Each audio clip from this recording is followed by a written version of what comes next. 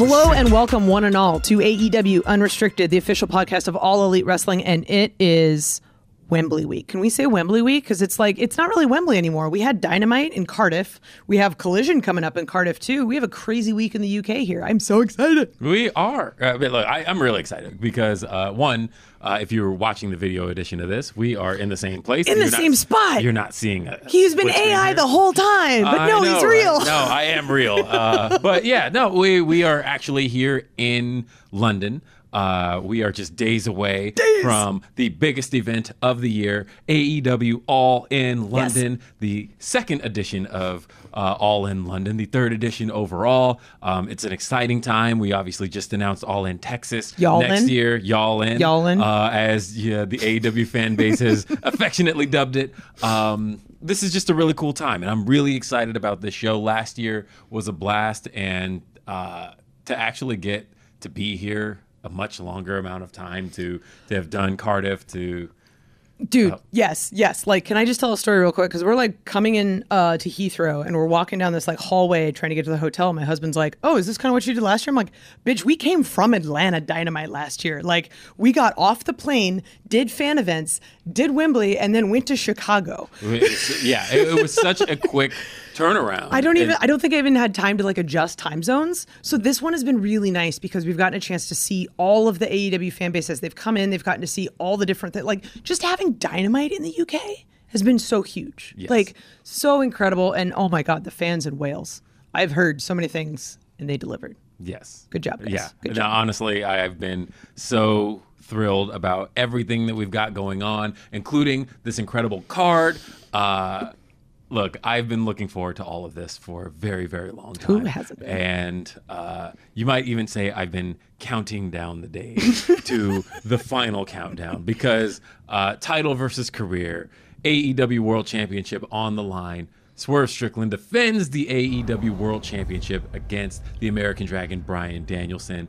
Uh, if Bryan does not win, this is This is his last potentially his final match. Like, like, okay. So, at what point do we start crying on this podcast? Because that's kind of how I feel right now. Like, Uh, so, so here's the problem with this. Here's the problem. Both of these guys are great, right? Like, Mm-hmm. you and I have been very open about our fandom for Bryan Danielson. We think he's the greatest wrestler of all time. Greatest of all However, time. both of us have also been open about our love for Swerve Strickland. You're biased towards him, having been related. Spoilers. Um, but also, like, Swerve and I came up on the Indies together. Like, Mm-hmm. he's a Washington guy, and he's been a phenomenal champion for AEW. He has been representing this company wonderfully, and he's been doing it even before he got the title. Uh, so, franchise player. He's sticking around a very long time, and it's one of those things where we know we've got Swerve for the long haul. But Yes. Bryan Danielson, we don't know how much time we have with him. Uh, as that could be, this could be it. You know, for everything Bryan has talked about, um, and how much uh, you know he's physically breaking down, and how. Uh, we always knew this was going to be the last year of his career. Uh, we knew for a fact that uh, he he's talked about how his contract is up. He's Yes. working without a contract. Yes. Um, and we've seen these two go at it once before. Um, it was a match uh, last October, Title Tuesday, Swerve Strickland, Bryan Danielson. Uh, and I remember walking away from that match going, God, that match on a bigger stage. Like they had delivered in that moment. And I remember thinking about that match being on a bigger stage and what they could do with uh, a bigger platform. And for these two to be on the biggest stage that AEW has, AEW All In, uh, getting to see Swerve Strickland, who a year ago uh, was on this All In card um, in a coffin match where he teamed with Christian Cage against Sting and Darby Allin. To see where he went in that year, to see the trajectory he hit from the feud with Hangman Adam Page Oh my God. to going on to Samoa Joe, becoming the AEW World Champion, beating Christian Cage, beating Will Ospreay. It doesn't feel like his train is stopping. No. It doesn't feel like the momentum is slowing down. he's hitting the station full speed. Brakes aren't working. Yeah, he's, Like- he's still got so much more to go with this run, but at the same time, Bryan Danielson is, again, I think he's the greatest wrestler of all time. The greatest. and I think in order for that to be a true statement, it can't end without the AEW World Championship. I'm just I, like it's I'm I'm sad with the outcome of this, but I'm happy with the outcome of this. There's Mm-hmm. no way that I can be like there there will be an emotional outcome either way. Yes. It's we're we're either going to see Swerve loses his title, and we see you know a title on the guy who is the greatest uh, wrestler of all time. Who I, I mean, it's it's just incredible at that thought. Or we literally see Bryan Danielson's last match. Like it's I, I don't even want to say it. Like we know this date has been coming, but it's I'm not ready. Right. I, I'm not I am, ready. I am genuinely not ready. No. But at the same time, we we've got a few days to get there and an entire four hour show before that main event hits. But I, I'm so excited for this. And uh, I think no matter what, I know it's a cliche thing to say, but I feel like everybody wins for, for where we're about to be with Swerve Strickland uh, defending the AEW World Championship against Bryan Danielson. Title versus career, the final countdown. Also, just shout out to the Pacific Northwest, Yeah. right?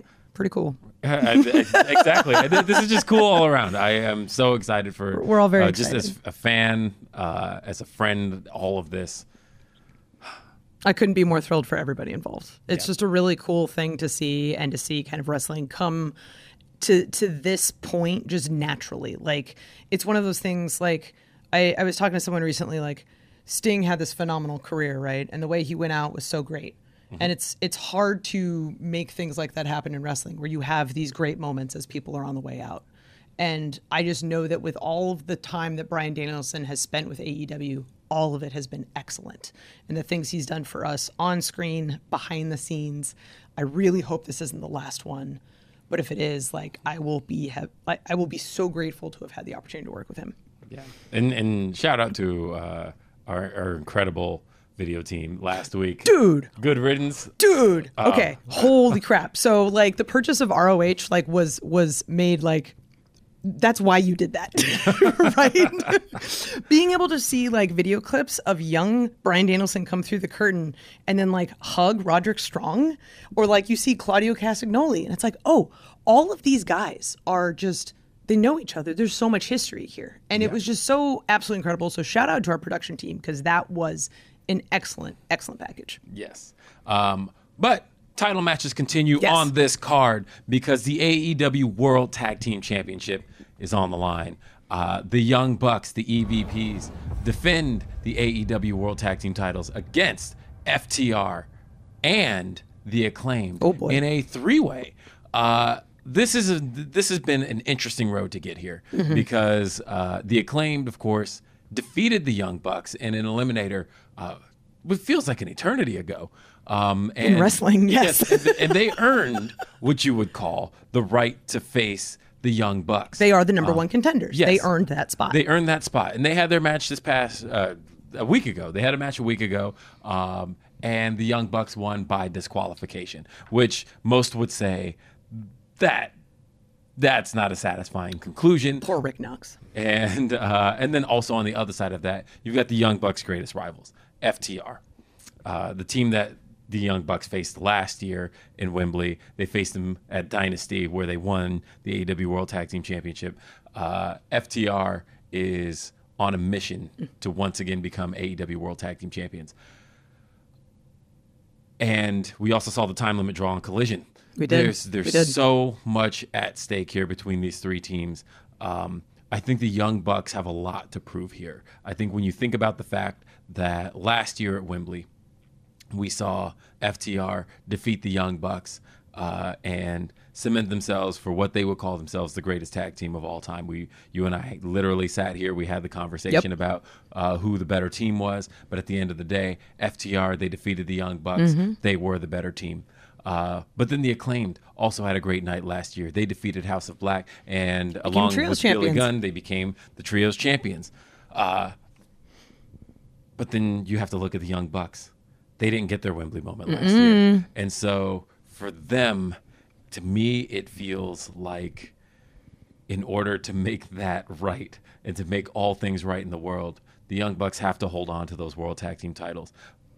But at the same time, you look at the fire the acclaimed has had lately. This is a team that is not wanting to go down as uh, a team that you know, they, they've had a lot of great success as a trio. Um, they had great success when they won the tag team titles the first time when they beat Swerve in Our Glory.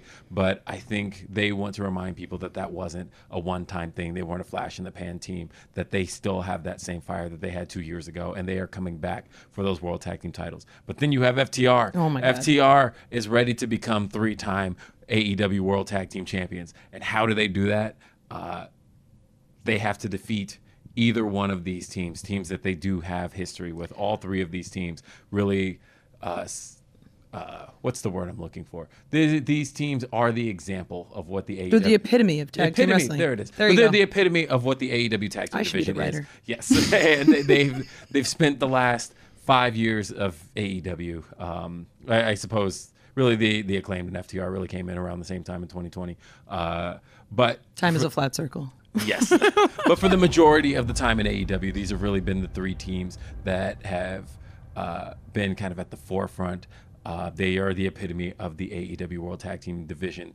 And to get to share the stage together at Wembley is just, We've uh, you couldn't ask for anything bigger. we've seen them all carry goals. We know they're all capable of being champions, but we literally wouldn't have all in without the Young Bucks. Yeah. So I don't know if that's just sort of because they didn't have their Wembley moment. Maybe that's the chip on their shoulder. I don't know. Like this, this is one of those matches that could honestly go any way. One of three ways. One, one of three. Everyone loves a good three way. All right. So we've got more to talk about here on AEW Unrestricted. Coming up, this card is massive, and we've got way, way more to talk about. AEW E Unrestricted.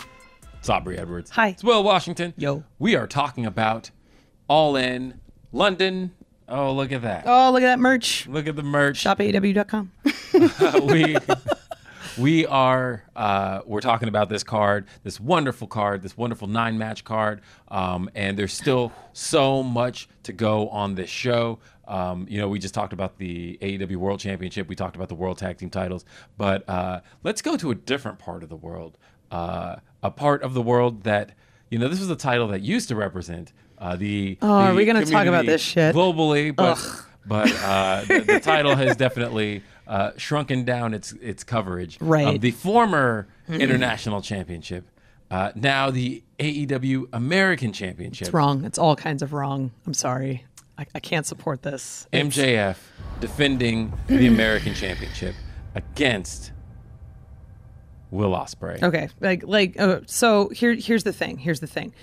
I there was a point in time where Max came back and we were all very excited to see him and then he shows his true colors and we remember that he's actually Maxwell Jacob Friedman and why were we all tricked all along? Yeah, Of course. Oh, oh, yes, he's he's been very Max since he's been. He's been very Max since he's been back, but he has this incredible, incredible match with Will Ospreay, which of course, because you've got literally one of the faces of AEW from day one, along with Will Ospreay, future legend, and they're battling it out. How long they go? Fifty nine minutes, fifty eight seconds. Yep. Yeah. So even though Max says it was an easy W, we all saw like that was a ridiculous match. It was. And to know that that was a match where the title changed hands and then suddenly it became the AEW American title, it's just like, it's hard because I think in traditional wrestling, like the Americans, they're supposed to be the good guys and then like boo the other guys. And it feels weird being the other way around. but honestly, like, screw America, man. We're in the UK. I'm all about Will Ospreay on this one.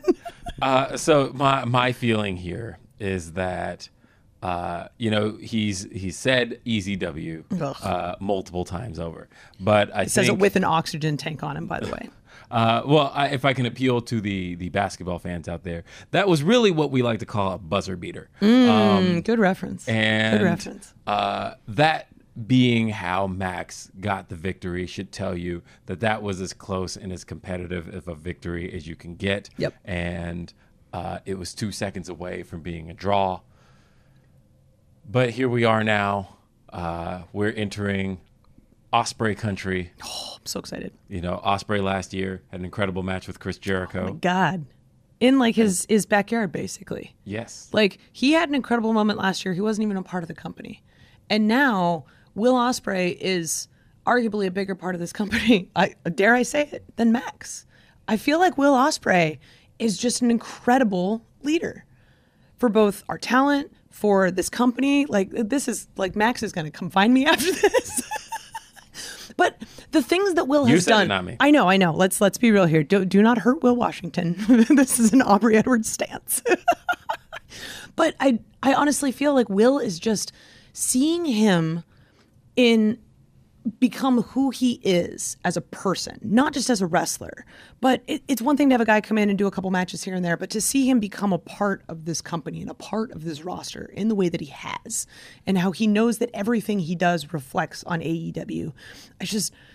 I, I want to get behind Will on this. I, really agree. do. I, I do think he's been one of the great flag bearers of AEW. Yes. Um, he represents his company so well, and uh, to get to return to his backyard and have a chance to reclaim the championship that he feels was stolen from him, and uh, and to restore it to its former glory as the international championship. That'd be great. Yes. Uh, but we've got other titles We on do. the line. We do. Um, because Oh my uh, God. Speaking of people who are entering their backyards. Oh, buddy. Um, oh, buddy. This one's going to be a good one. Okay. So, like, let's let's just shout out to Toni Storm and Mariah May who have this storyline has just been so absolutely excellent and to see Toni Storm change from rock and roll Toni Storm to outcast Toni Storm to timeless Toni Storm at the same time we see her protege Mariah May come in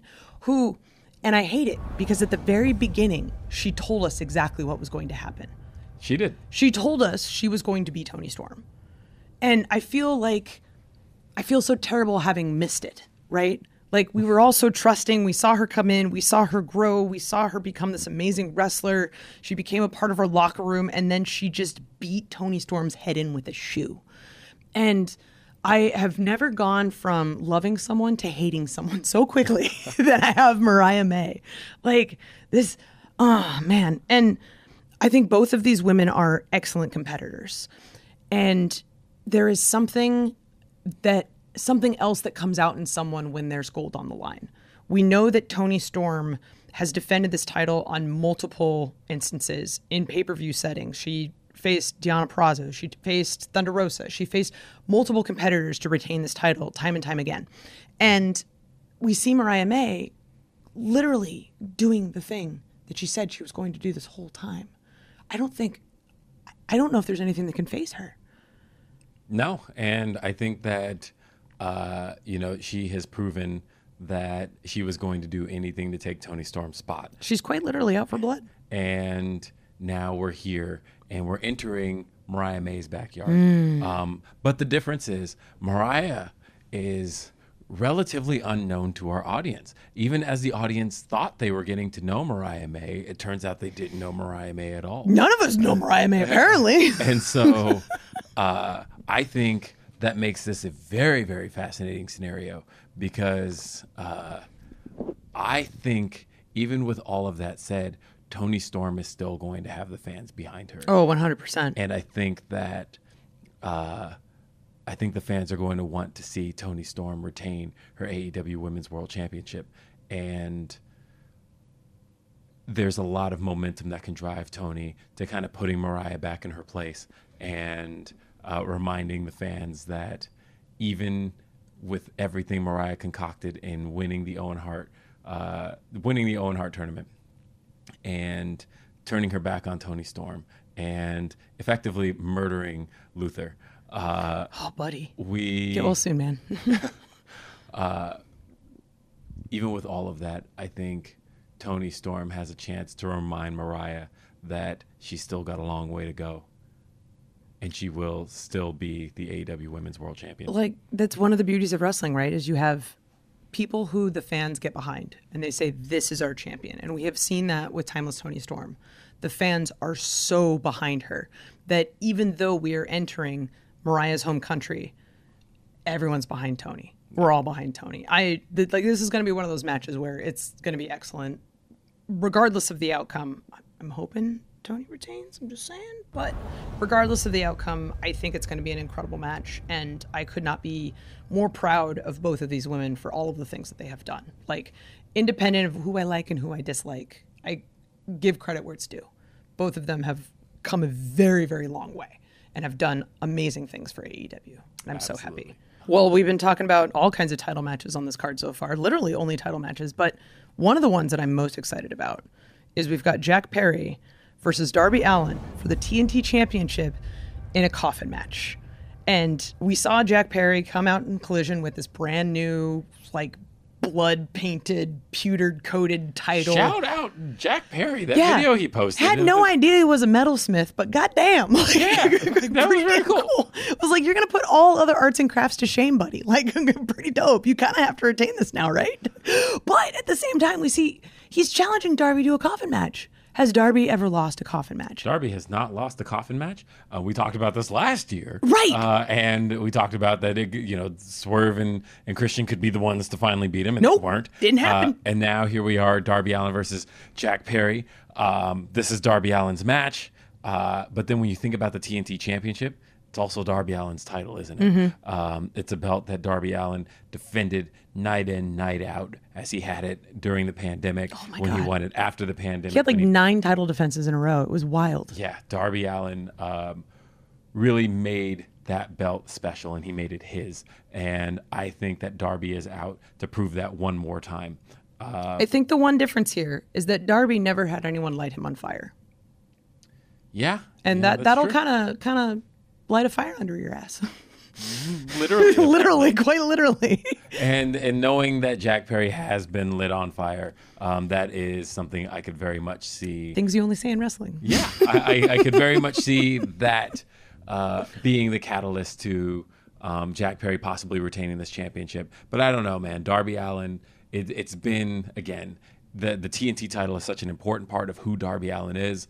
Uh, to me, this one could go either way, but I, I think this is Darby's to to take home. I, I think it's too hard to call. I think Jack's got a lot to prove. He wants to be the guy that actually puts Darby in a coffin. Why else would you make the statement knowing the the stats that we do? But Darby is relentless. He will literally do anything necessary to make sure that he wins his matches. So this is this is going to be a really interesting one to watch. Um, there's still we barely even touched all of the card on this one, and we've got so much more to talk about here on AEW Unrestricted. We'd re-return from our quick commercial break. Unrestricted.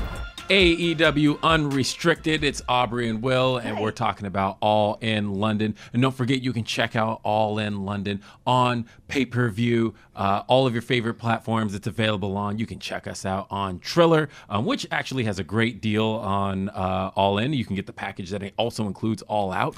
um, and so definitely check that out. You can also check us out on Bleacher Report. Hell yeah. Um, and follow AEW socials for all other platforms we're available on. Um, you can also be there in person. You want to be there. Yes. Uh, Wembley Stadium is such an experience. If you haven't had the opportunity to check out Wembley Stadium, this is the time to do so. It's insane. I still remember walking into the building and crying last year. It's it's just such a phenomenal thing, and to be a part of that huge of a show, like knowing we're not going to be at Wembley next year, like we're going to be in Texas, y'all. So I mean, if if you're on the fence, this is the time to do it. AEWTix.com. Yes, AEWTix.com. Get All your tickets. But let's talk about it. We've got the TBS Championship on the line. Mercedes Moné, the reigning and defending TBS champion, is going to be defending the title against the returning Dr. Britt Baker, DMD. We saw Dr. Britt Baker return at Forbidden Door uh, just a couple of months ago.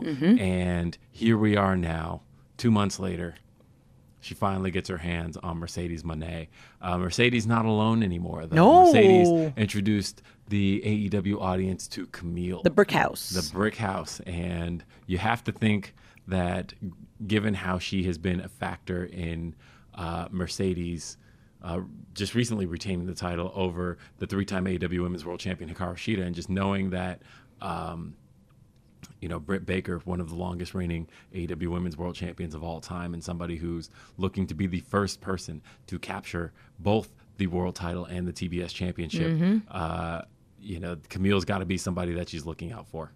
I mean, she's got to be looking out for her because she took that boot to the face. Yeah. Oh, lordy, that was like Kamille is scary because she's strong, she's silent. You have no idea how deadly she is, mm-hmm. but at the same time, we've seen Mercedes wrestle on AEW television multiple times. We've seen her defend the TBS title. She, we knew before she even came in, she was a phenomenal wrestler. Mercedes Moné has punched holes in the ceiling of women's wrestling, and has is a complete, complete and utter legend. And she's still so early in her career. But we've seen Britt Baker be here since day one. She was at the original All In. She's been here. She is, as she says, you know, the face of the women's division. So I mean, this is actually a pretty, in my opinion, even though Britt's had some time off, I feel like this is a pretty equal match. Yes. Um, it, it, it can be in a lot of senses. Uh, but, you know, we one of the things Mercedes said a few weeks ago when she pointed out, she said that Britt Baker is the first in a lot of respects. She was the first woman signed to AEW. She was the first woman to main event um, AEW television, and she's done it on multiple occasions. Yep. Uh, and she said, "You are the first, but you're not the best." Mm. Uh, and Mercedes can make the argument for being one of the best. Absolutely, and no question. To note that she has all of those accolades that Mercedes Moné, you know, we didn't even talk about the fact that she's the New Japan Strong Women's Champion as well. That is a belt. Mercedes two also- belts. Yep, she's carrying around two belts at the moment. And to know that Mercedes is as good as she is, and she went ahead and got herself an, an insurance policy in Kamille, uh, I think to Smart. me that uh, that is going to keep those championships on Mercedes Moné for a very long time. That's just a CEO doing good business. That's what CEOs do. That's what CEOs do. Oh man, yeah. No, this is this is gonna be a great one. I mean, CEO, CEO. Watch our shitty dancing on the YouTube version yeah, of this. so- sorry. Well, look, this is what we do. This is what we do. It's been a very long week. Uh, we're finally acclimated to the time zone, and then we'll quickly switch back as we start heading towards back to the U.S. Um, we we have multiple incredible women's matches on this card, and we'll get to uh, one more coming up a little bit. Um, but we've got Jericho and Hook, the FTW title. Hook is back. He is missing an eyeball, or he's, he's blind. He's he's hurt from this fireball that he took from Jericho, right? And Jericho is giving him the option. All right, you can challenge me for the FTW title, but if I win, you never get to challenge for it again as long as Chris Jericho, the Learning Tree, is champion. And I think it's an interesting stipulation. Like we saw Hook win the title back again last year. He took the title off of Jack Perry uh, at the Zero Hour. He did. So Hook has th- this is this is territory that Hook is familiar with. Yeah, it, is. Um, you know, Hook has been the challenger for the FTW title on multiple occasions, um, and he's looking to win that championship back for a third time, uh, and, which is just insane to think about. Um, how a title that was uh, created by Taz and associated so long with Taz is now a belt that Hook's looking to win for the third time. I completely forget that it's a Taz belt. Yeah, I mean, it- It's it's to me it's synonymous with Hook. yeah, it, it literally says Taz on the belt, um, but but Like they're related? What? but but the thing is, uh, Chris Jericho is of course, you know, he's turned it into the for the world championship, uh, and He'll tell you how many days he's been champion. yep, he's got the Tron doing it for us. He's got the video wall. It, it Love tells it. you. Um, but yeah, uh, Hook is he's looking to put the learning tree behind him, and I think in order to do that. He's got to walk away with the victory. Mm-hmm. Um, if not, no matter what, the learning tree is behind him. Uh, and how, how does he he pull that off? But at the same time, Chris Jericho isn't ever alone. He's got the bad apple, Bryan Keith. He's got uh, the big redwood, Big Bill. Ooh. God, it's so good. Uh, so uh, who who knows? Oh, thanks, Chris. Thanks, Hook. This is going to be a great match at Wembley. hey, let's talk a little bit about this casino uh, gauntlet match Yes, because uh, it gives you a guaranteed world title shot in the future. yes at any point. At any And- point. At any point. And think about the previous Casino Gauntlet matches. We, we first saw this match on the April 24th edition of AEW Dynamite. It was won by Will Ospreay, Mm. um, and it guaranteed him a shot at the International Championship. Which he won off of Rod- Roderick Strong. which he won off of Roderick Strong. But There then you we go. saw the match a second time uh, at the Forum, and uh, it was also won by Will Ospreay, uh, and that guaranteed him a shot uh, at Swerve Strickland, which he was not successful at. Nope. Uh. Great But- match. But, thinking about the fact that now we've got the Casino Gauntlet, I assume without Will Ospreay.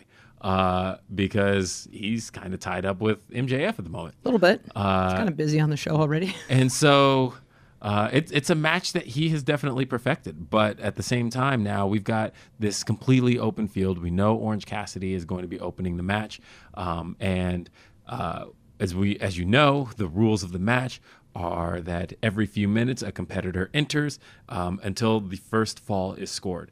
Uh, which It could end as soon as the second guy comes out. yes. That's one of the things I love about this match, right? Is that it could literally end. That that is You the don't even know. of being in it. That's the advantage of being in it 1st Mm-hmm. But then at the same time, that first advantage can turn into a disadvantage because the longer it goes on, Oh, buddy. the longer you've been in the match. You're tired. And so you you want to end it as quickly as possible. At the same time, we could see any number of names enter this match uh, because the match keeps adding participants until a fall has been scored. We could end up seeing 100 people enter this match if nobody scores a fall.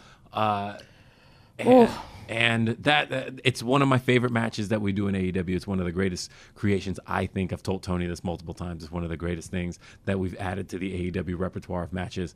Uh, and the last one at the Forum, I thought was just, you know, I'd call it an A. Uh, and this one here feels like uh, with the potential of being an A plus, um, being on as big of a stage as it's going to be, and knowing the the potential talent that could enter, this is going to be a really exciting one. There's so many opportunities for some cool stuff here. I'm really excited for this. Wrestling is all about surprises and things happening when you least expect them, and this match kind of puts all of that on a silver platter. Right. It's it's so good. It's so wonderful. Speaking of good and wonderful, I want to talk about Willow Nightingale. I want to talk about how she's teaming with Tomohiro Ishii, and she's facing Kris Statlander at Stokely Hathaway in a mixed tag match on the Zero Hour. I am so stoked about this because who doesn't love Willow? Willow is great. She's And- amazing. And Also, uh, who doesn't? Who likes Stokely? Nobody. uh, but but the fact that she has uh, no comment there. I'm not Okay. going to play any favorites that's fine, that's here, fine. but but I will say that uh, you know it was it was quite crafty of her to to team up with her her fellow conglomeration mate in uh, Big Tom, and uh, knowing that that that Stokely knowing that Stokely is going to be stepping into an AEW ring Oh, buddy. again, by the way, because you know we talked about Hook before, uh, in that Stokely Hathaway at one point uh, did face off with Hook. Do you remember when he lost last time? He had to walk down the hall and all of us were laughing at him. Yeah, It was one of my favorite days at work ever. and but here on his side though, That's is is the very dangerous fair. Kris Statlander. Uh, Kris Statlander is is ultimately the X factor here Mm-hmm. because Kris Statlander. Um, there's very few people you could put her against, and I wouldn't bet on Kris Statlander. Yeah, oh, 100%. Knowing that, at the very least, if this were Stokely on his own, Done deal. I'd probably bet my house. But uh, Same. knowing that uh, he's got Kris Statlander by his side, she's more than a woman. She is uh, one of the greatest AEW women's wrestlers of all time, and uh, she's been out to prove a lot ever since uh, Double or Nothing. And here she is with the opportunity to, uh, before going one on one with Willow Nightingale at All Out, she gets a chance to uh, to make a statement because there is something on the line here. Yes, this match has a stipulation. Yes, you know, if Willow and Big Tom win, then they get to choose the stipulation for the match at All Out between Willow and Kris Statlander. And if Stokely and Kris Statlander get the victory, they get to choose the stipulation. So there's a lot at stake here, uh, and I just. You know, I always love seeing Willow and Kris Statlander go at it. I think their matches get better with every single uh, time, and they get more intense, more hated, more heat. I uh, I've been very happy watching these two go at it. Um, They're a pair that when they broke up, I was very heartbroken because I loved seeing them together. But when both of them are in the ring, whether they're teaming together or facing each other, everybody wins. Yep. Because the two of them are phenomenal competitors and they have so much fire in them. and they're two and two. So knowing Really? that, yeah. So knowing that they uh, they have they very much have a score to settle with each other. Yeah. Um, this is going to be really exciting. I'm very I, excited for this. I'm I'm excited for this whole card. I, I I mean, just going through all of this earlier when we were running through our notes, I have no idea what match I'm most excited about. I'd say Swerve and Bryan just because of the emotional factor, but honestly, each one of these is going to tell a phenomenal story. We're going to see all of these amazing competitors, whether they've been with AEW since the beginning or whether they've joined AEW sometime in the last five years. Everyone's going to have this awesome Wembley moment, and I could not be more proud of us as a company for pulling this off again how the hell we we do these pay per views every freaking few weeks, but they're always better than the last one. Definitely, definitely tune in if you're here in the UK or if you can get to the UK. AEWTix.com. You definitely want to be there live at Wembley Stadium this Sunday. Please be there. If you can't be there, you can watch it multiple different ways. You can watch it on traditional pay per view. You can watch it on Bleach Report. You can watch it on Triller TV follow AEW on all the social media accounts because we will sure tell you exactly all the places you can watch it. You can watch Dynamite on TBS on Wednesdays. You can watch Rampage on TNT on Fridays. You can watch Collision on TNT on Saturdays. And of course, you can watch Ring of Honor, Honor Club Thursdays. I am Aubrey Edwards here in person with Will Washington. Thank you for listening to AEW Unrestricted. We'll see you at Wembley, bitches.